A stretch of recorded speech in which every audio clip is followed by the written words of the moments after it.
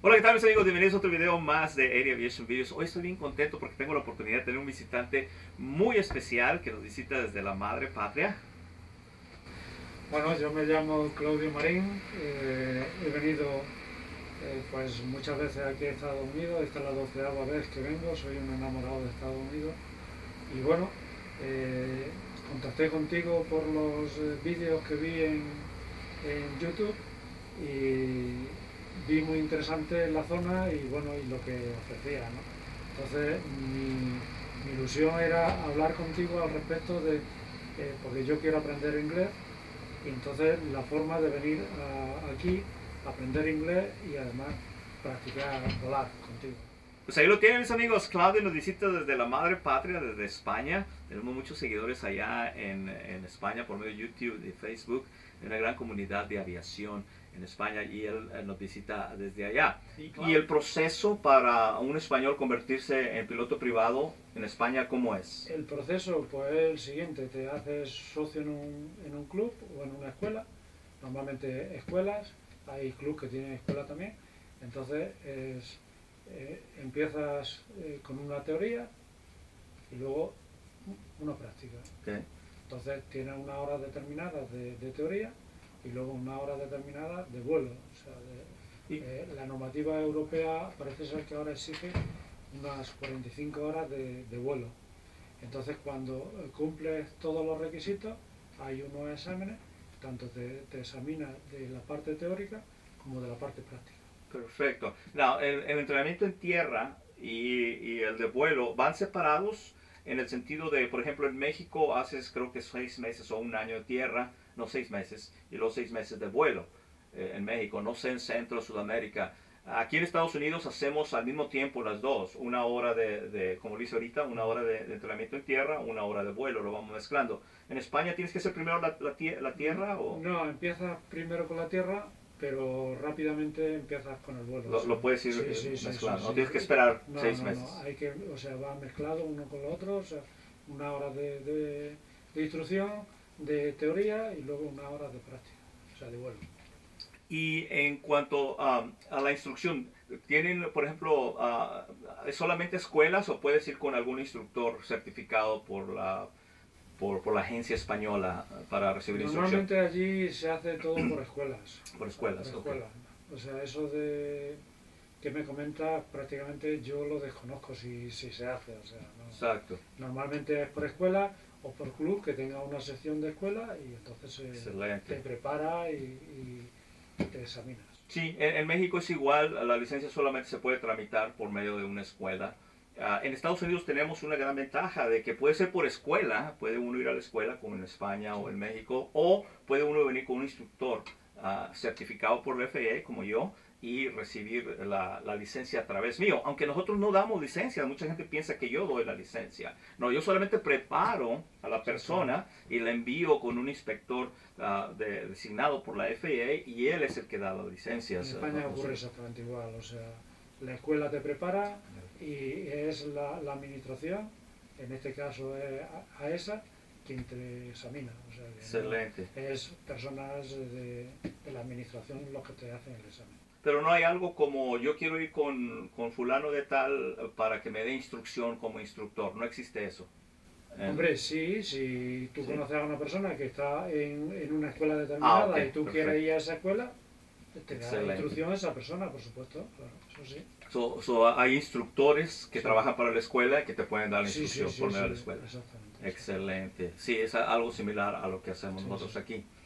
So, ya, cuéntame acerca de las horas, del tiempo. ¿Cómo es el, el- el proceso normal para, para un- una persona que nunca voló y que aprende y que quiere aprender a volar en España? Bueno, eh, la persona que nunca voló en España, normalmente, eh, o sea, allí lo que se hace es un vuelo de, de, ¿cómo te diría yo? Un bautizo del aire Discovery Flight, eh, sí. para ver si esa persona, pues, a, a lo mejor le gusta volar, pero mm, le puede dar miedo o Claro. puede tener ciertas eh, historias con respecto al tema de, de- en el momento de, de subirse al avión, ¿no? Entonces, lo que se le hace es un bautizo de- del aire y a ver, le hacen alguna cosita y a ver cómo responde. Y si eso lo supera, normalmente no hay ningún problema. O sea, empieza la instrucción, o sea, se- Y para, por ejemplo, los que quieren hacer carrera, que quieren ser piloto de aerolínea en España o en Europa, este, después de que tienes tu licencia de piloto privado, ¿cómo sería el seguimiento? el seguimiento es el siguiente, seguir en la misma escuela, sacarse el, el de primero el piloto privado, después eh, instrumento o mm, hacerse el comercial. Porque mientras no se haga el comercial no puede hacer o sea no puede volar o sea porque el o sea puede volar lo único que pasa es que puede volar como privado o sea, ok. No tener un trabajo remunerado mientras no tengas Sí. el comercial Exacto, es lo mismo aquí. Entonces tiene que tener eh, ahora no sé exactamente cuántas horas son antes eran 200 horas para poder examinarte del comercial entonces eh, otro entrenamiento otras horas de, de- de estudio y además otras horas de, de vuelo Excelente. con, con- con instructor Qué tremendo, qué interesante. Sí, hay mucha similitud en lo que hacemos en, en Estados Unidos. Am, este, no, ¿El entrenamiento allá es en español o es en inglés? no en español En español. en español hay o sea trataban de que fuese en inglés pero mm, de momento es en español lo que es privado el comercial parece ser que ya empiezan a porque el comercial si te sacas el comercial es para dedicarte ya en plan Exacto. profesional entonces eh, ahí sí que vas a necesitar el inglés Así, entiendo. ahí supongo que si te lo exigen sí sí Y me imagino que volando en Europa, la, la única forma de comunicarse va a ser por medio Sí, sí, de- sí, de- del no. inglés. No, es que eh, volando en cualquier parte de Europa tiene que ser en inglés, o sea, no es igual que en cualquier parte del mundo, o sea, el Exacto. idioma aeronáutico, como sabes, es el inglés. Y ustedes como, como pilotos privados, ah, con su licencia de pilotos privados avión privado, eh, ¿vuelan nada más en España o salen Solo- a algunos otros países alrededor? Solo volamos en España, a no ser que tengas la competencia lingüística en inglés, y entonces sí puedes salir a- a- o sea, y volar en otros países. ¿Qué tan difícil es cruzar la frontera con, con otros países?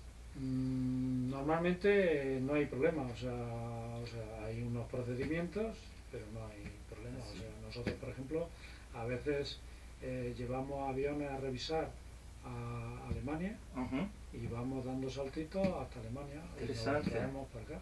O sea, nosotros tenemos, teníamos a- antes una, una Piper, eh, una PA28 Ujú. que la vendimos y la trajimos de Alemania a- hasta España. Y bueno, luego vino un inglés y se la llevó de, de España a Inglaterra. Interesante, O sea que, que no interesante. hay problema. O sea, en ese sentido, hombre, hay que ir eh, a hacer el procedimiento normal de, Aduana, pasa- migración. Exactamente, exactamente. Y, pero en lo que es el vuelo, eh, sería- El vuelo es exactamente igual que si fuera en tu país. O sea, tú llevas tu carta de navegación y tú vas programando los aeropuertos a los que Interesante. O sea, Qué que no- interesante. Am, y eh, sí, sí, porque yo nunca he volado en Europa, le comentaba a Claudia que nunca he volado en, en Europa, so, pero yo vuelo en México y he descubierto que volar en México por instrumentos y en inglés es lo mismo que en Estados Unidos, o asumo que es lo mismo si yo volara en Alemania Sí, o, en, ah, o en. Francia o en España, que es uno de mis planes. Pronto, ah, el 22 de julio cumplo 50 años y ese es uno de mis planes, ir a la madre patria e investigar dónde viene mi, mi apellido, Malacara. So, el 22 de julio de este año, si Dios quiere, vamos a andar por allá, por tu El tierra. 22 de julio El 22 de julio de- del año que viene. no, de este año, sí, Ah, cumplo, cumplo a 50 años y uno de mis propósitos es eh, ir a España y celebrar mi cumpleaños allá.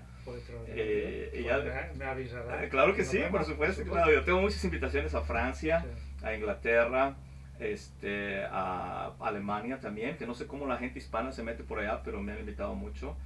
Y, y- pero eso es uno de, de mis metas y crucen los dedos para que se nos haga. Ahí vamos a estar. Y, ah, me encanta mucho el, el, am, lo que es el flamenco, eh, las sevillanas. am, eh, siempre he querido estar allá, pero el propósito principal es ir a investigar ah, mi apellido, Malacara. Sabemos que viene por allá y no. eh, curiosidad, cómo fue Sí, que, sí, sí, que empezó eh, Malacara y cómo fue que terminamos acá en México. So, yo te voy a mantener in- informado. Pues extraordinario. pues Y-.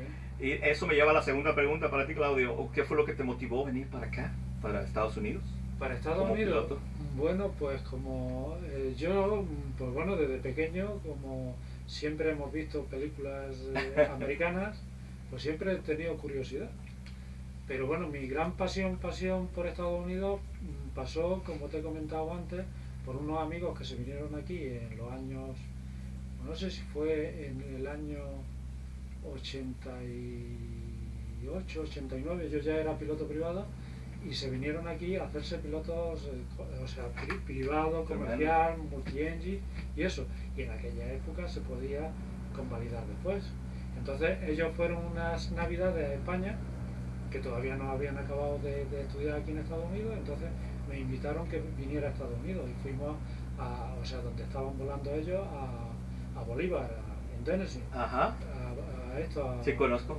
y entonces, a partir de ahí, fue ya mi gran pasión por venir a Estados Unidos. De lo cual, aquella fue la primera vez y esta es la doceava vez que vengo. ¡Wow! ¡Qué tremendo! Y cada vez que vengo, vengo normalmente un mes, mes y algo, porque ya que viene lejos, y cada vez voy a un sitio determinado, ¿no? Para conocer el país. Y mi ilusión pues sería venirme aquí a vivir temporadas largas. Qué tremendo. Qué tremendo. Yo tengo varios clientes también que, que son mexicanos y viven porciones de, del año en, en Europa.